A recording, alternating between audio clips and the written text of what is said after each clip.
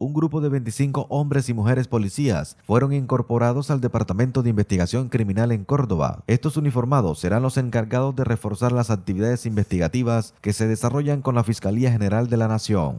Estamos convencidos que con este importante apoyo que el mando institucional ha destinado concretamente para estas actividades, vamos a lograr unos objetivos de disminución de la actividad delictiva en el departamento. Es un honor ser policía dijo que con ese apoyo se avanzará en el esclarecimiento de homicidios, permitiendo la captura y judicialización de personas que vienen generando situaciones de inseguridad.